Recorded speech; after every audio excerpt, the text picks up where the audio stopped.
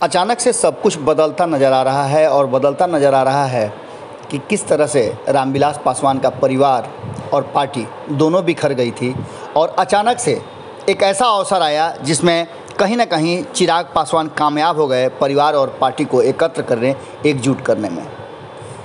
जैसा कि आप सभी जानते हैं कि आज रामविलास पासवान की बरसी है। इस कार्यक्रम को लेकर के और उनकी बरसी को लेकर के चिराग पासवान ने एक बृहद कार्यक्रम बनाया था और इस कार्यक्रम में उन्होंने दोस्त और दुश्मन सभी को निमंत्रण दिया, सभी को जुटाया और उनका सीधे तौर पे कहना था कि मेरे पिता और मेरे गुरु रामविलास पासवान ने अपने राजनीतिक जीवन के पाँच दशक में ऐसा कोई भी नहीं था जिससे उनकी दुश्मनी हुई हो। सभी के साथ उनका बहुत ही बेहतर संबंध रहा था और उन्होंने राजनीतिक जो मंच है उसको एक नया दिशा दिया था। बिहार सहित भारत और भारत से पूरी दुनिया में नाम अपना बनाने वाले और सम्मान दिलवाने वाले रामविलास पासवान जी की आज बरसी है। वो हमारे बीच नहीं है और ऐसी स्थिति में वो सभी लोग जो रामविलास पासवान को चाहे जिस तरह से भी जानते हों, वो सारे लोगों को हमने आमंत्रित किया है।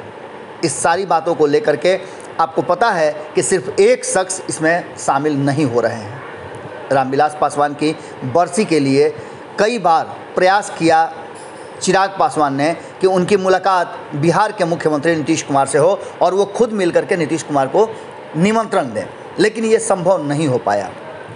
इतनी भी क्या नाराज़गी और व्यस्तता कि उनके पास निमंत्रण पत्र के लिए मिलने तक का वक्त नहीं था। हालाँकि जदयू के और कई नेताओं से चिराग पासवान की मुलाकात हुई और घंटों बातचीत हुई है। इन सारी स्थितियों को देखते हुए लगभग हर दल के नेता और वरिष्ठ लोग इस बरसी में आने का स्वीकृति दे चुके हैं।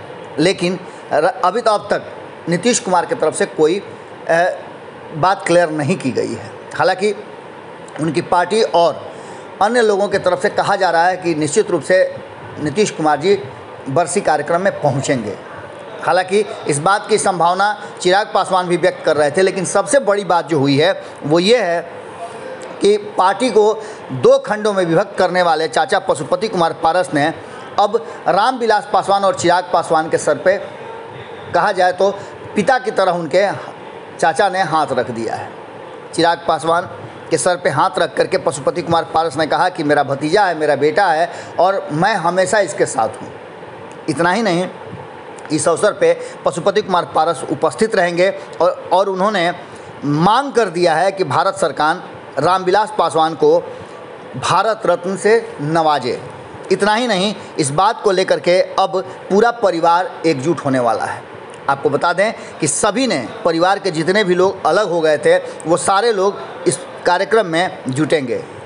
यहाँ तक कि बहन और जीजा सभी जुटेंगे और सभी को अपने व्यक्तिगत रूप से जा कर के चिराग पासवान ने आमंत्रित किया है। इसका मतलब सीधा सा है कि नीतीश कुमार ने जो परिवार और पार्टी को कहा जैसा कि जा रहा था, लगातार चर्चाएँ चल रही थी कि जदयू के प्रयास से ही ये सब कुछ संभव हुआ था और चिराग पासवान और पशुपति कुमार पारस अलग हुए थे। लेकिन अब रामविलास पासवान की बरसी को लेकर के एकजुट होता परिवार इस बात की तरफ़ इशारा कर रहा है कि बहुत जल्दी सब एक साथ होंगे और एक साथ फिर से लोजपा नज़र आएगी। जुड़े रहिए भारत लाइव के साथ। आज पूरे दिन हमारी नज़र बनी हुई है, क्या कुछ घटनाएँ होती हैं, कौन आता है, हम आपको सिलसिलेवार ढंग से सब बताते रहेंगे। बहुत बहुत धन्यवाद। अगर ये वीडियो पसंद आई और वह बिहार के राजनीति और बिहारियत से सरोकार रखेनी तो सब्सक्राइब बटन दबा के चैनल के सब्सक्राइब कर ली। ओजे एगो घंटी बा, ओकरा बटन दबा देला से कुल सटीक और मारक खबर रुआ मुफ़्त में मिल जाई। अगर रुआ पत्रकारिता के हमनी के नया प्रयोग में सहयोग कर चाहतनी तो ज्वाइन बटन दबा दी। पेटीएम नंबर नोट कर ली nine three eight six eight one six seven double zero. धन्यवाद।